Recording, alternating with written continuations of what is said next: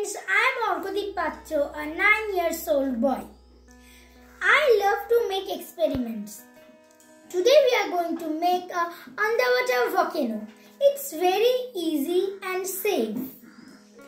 To make, I need a baking soda, citric acid. If you do not get citric acid, then you can also try it with lemon juice. Oh, water, a red color, a oil, this measuring cap, this test tube, any glass bottle with cap will work. I am using a test tube. I am taking 10 ml water. Now I will pour it in the test tube.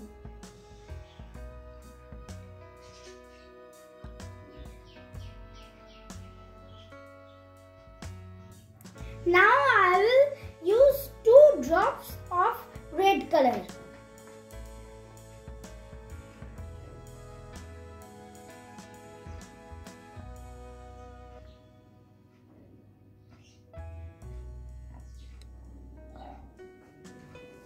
Now I will mix it with this string.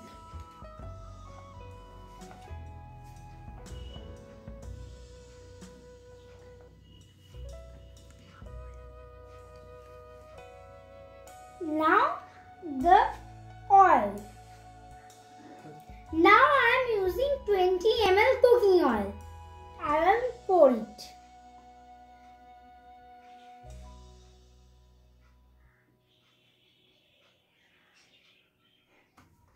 Now I am using 1 scoop baking soda.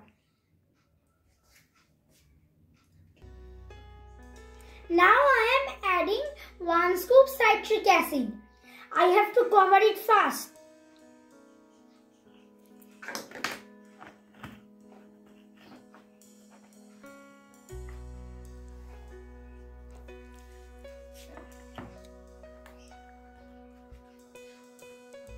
Amazing.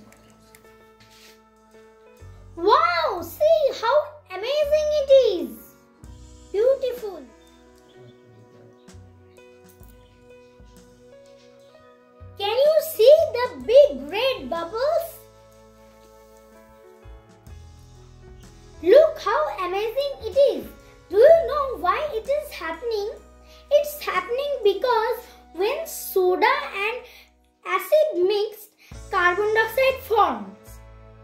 And the bubbles are of carbon dioxide. And the oil helps us to see it.